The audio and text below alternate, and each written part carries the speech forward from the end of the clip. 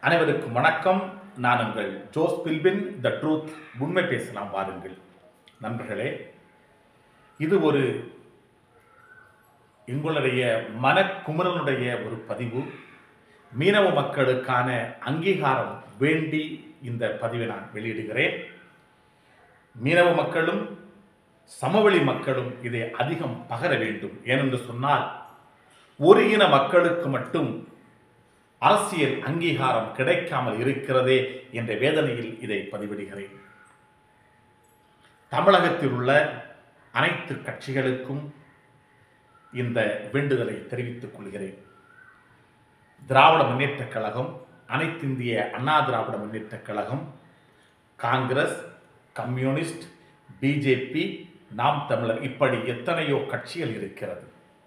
தேர்தல் வரும்போதெல்லாம் மீனவர்கள் ஓட்டு போடுகின்ற ஒரு இயந்திரமாக பயன்படுத்தப்படுகிறார்கள்.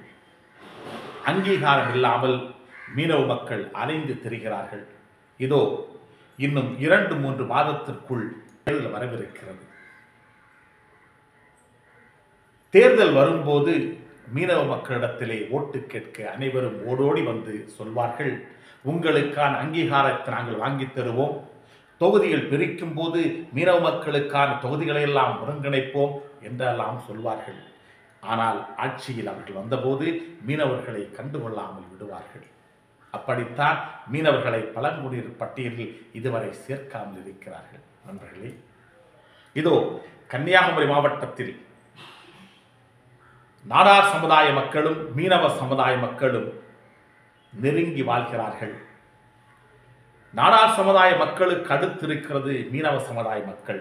இங்கு இருக்கின்ற ஆறு சட்டமன்ற தொகுதியிலையும் அதிகமாக போட்டியிட வாய்ப்பளிப்பவர்கள் நாடார் சமுதாய மக்களே மீனவ சமுதாய மக்கள் ஒதுக்கப்படுகிறார்கள். நான் கேட்பதெல்லாம் இந்த வருகின்ற நாடாளுமன்ற தேர்தலில் அனைத்து கட்சிகளும் மீனவ பிரதிநிதிகளை வேட்பாளராக அறிவிக்க வேண்டும். அப்படி அனைத்து கட்சிகளும் மீனவ மக்களை வேட்பாளராக அறிவித்தால் எந்தெந்த கட்சியில் நாம் இருக்கிறோமோ அந்தந்த கட்சியை சார்ந்த மீனவனுக்கு வாக்களிப்போம். அப்போது ஏதாவது ஒரு மீனவன் வெற்றி பெறுவான். இல்லை என்றால் எந்த கட்சி மீனவனுக்கு வாய்ப்பளிக்கிறதோ அந்த கட்சி அது நம்மை சார்ந்த கட்சியாக இருக்கலாம் நமக்கு எதிரான கட்சியாக இருக்கலாம். ஆனால் ஒரு மீனவனுக்கு வாய்ப்பளித்தால் அனைத்து மீனவனும் அந்த மீனவனுக்கு ஓட்டு போட வேண்டும். இது காலத்தின் கட்டாயம். நமக்கும் அங்கீகாரம் வேண்டும்.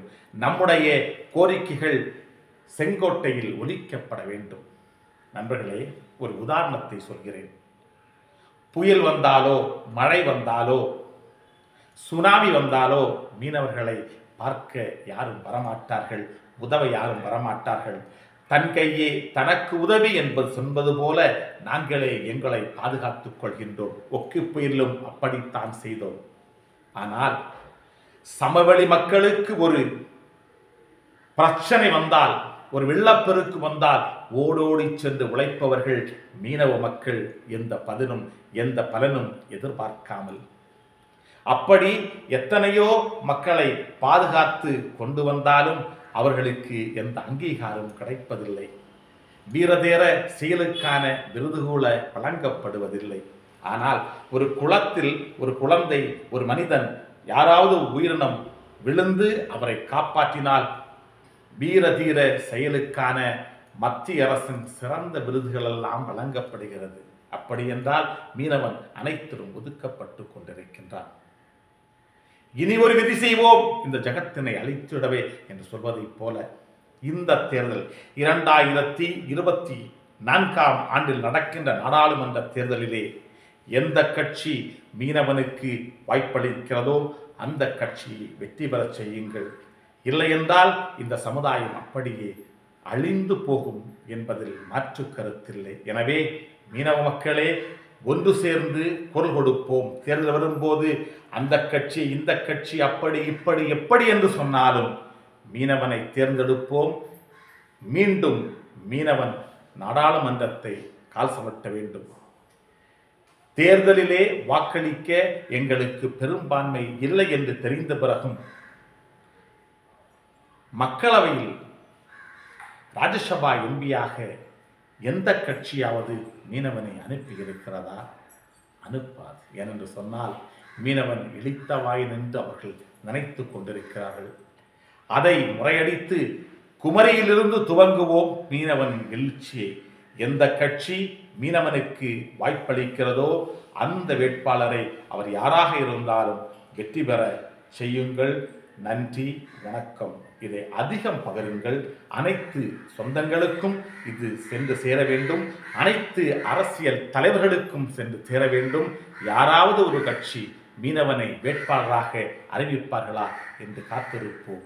மீண்டும் அடுத்த நிகழ்வு உங்களை சந்திப்பதோடு விடைபெறுகிறேன். நான் உங்கள் ஜோஸ் பில்பின். நன்றி வணக்கம்.